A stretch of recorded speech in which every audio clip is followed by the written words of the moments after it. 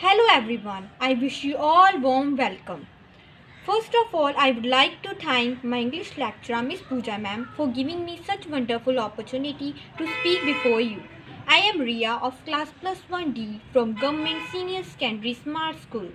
Today I am going to speak on topic or poem Lines Written in Early Spring. The lines written in early spring is written by William Wordsworth. Nature is full of life, beauty, charm, and sweetness. Plants and flowers add to beauty of nature. Words with their song provide a great excitement. But it is a very pity that man has been very cruel to humanity. By ignoring his link with nature and running after material things, man has lost all his happiness. He must go back to nature if he want to regain all his lost happiness. Thanks.